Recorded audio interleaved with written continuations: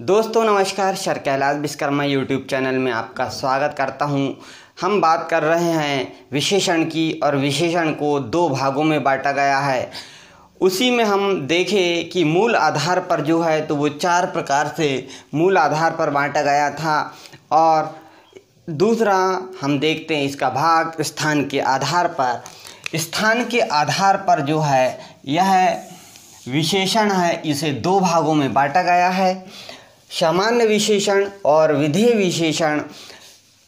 यह हम आज आपको समझाने जा रहे हैं। दोस्तों, अगर आप पहली बार हमारे चैनल पर आए हैं तो हमारे चैनल को सब्सक्राइब करें, लाइक करें, शेयर करें और सभी दोस्तों तक ये वीडियो पहुंचाएँ।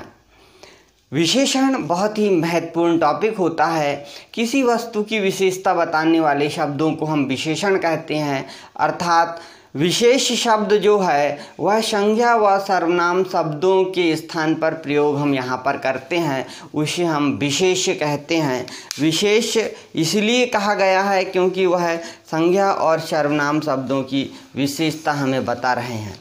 हम यहाँ पर बात कर रहे हैं सामान्य विशेषण की और सामान्य विशेषण में स्थान के आधार पर जो सामान्य विशेषण है, इसका प्रयोग विशेष के पहले होता है। जो विशेष है, ये विशेष शब्द है, इसके पहले इसका प्रयोग हो, यदि होता है तो वहाँ पर सामान्य विशेषण होता है। ये विशेष क्या है? विशेष किसे कहेंगे? तो हमने अभी जैसे कहा कि संज्ञा या सर्वनाम शब्द जो है, वो विशेष के बदले प्रयोग किए जाते हैं, विशेष के लिए प्रयोग किए जाते हैं। जैसे यहाँ पर विशेष गाय जो है, वह क्या है? एक संज्ञा शब्द है, अर्थात यह विशेष है। और इस विशेष के पहले हमने प्रयोग किया कौन सी? उसकी विशेषता बताने वाला शब्द जो है, वह काली है। अर्थात जो काली गाय है, वह कैसी है? बहुत सुंदर है। तो जो किसकी विशेषता बताई जा रही है? गाय की। तो इसीलिए यहाँ पर सामान्य विशेषण होगा क्योंकि सामान्य विशेषण में विशेष के पहले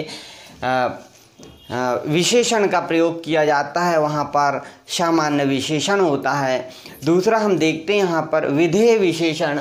जो विधेय विशेषण है इसमें इसका प्रयोग विशेष के बाद में किया जाता है। जो विशेष होगा उसके बाद में इसका प्रयोग किया जाएगा। वाक्य में जहाँ पर ही आ, ऐसा कि विशेष जो है, उस शब्द के बाद में विशेषण शब्द का प्रयोग किया जाएगा। विशेषण शब्द जैसे बहुत, यहाँ पे भी हमने देखा था काली, ये विशेषण शब्द है। और ये विशेषण शब्द किसके पहले?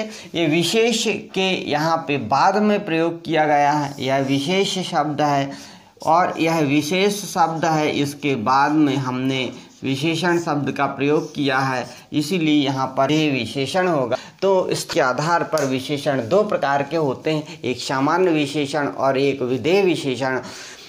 और यह पूरा हमारा विशेषण का टॉपिक समाप्त होता है यहाँ पर। जो हमने सभी जितने भी प्रकार के भेद होते हैं, उन भेदों के आधार पर भी और उन के प्रकार भी आपको समझाया।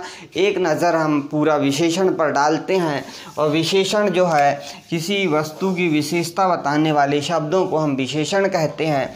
विशेषण को दो भागों में हम बांट सकते हैं। एक आधार मूल रूप में और दूसरा है स्थान के आधार पर विशेषण। जो मूल रूप में विशेषण होते हैं, वो गुणवाचक, संख्यावाचक संख्यावाचक को भी दो भागों में हमने बांटा है। एक निश्चित संख्यावाचक और अनिश्चित संख्यावाचक।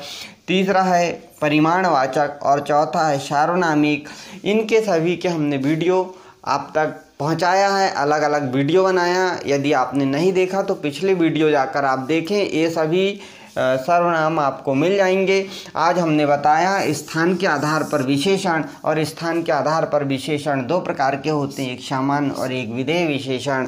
दोस्तों, आज के लिए इतना ही। अगर आपने सब्सक्राइब नहीं किया तो हमारा चैनल सब्सक्राइब करें और अधिक से अधिक दोस्तों तक यह जानकारी पहुंचाएँ।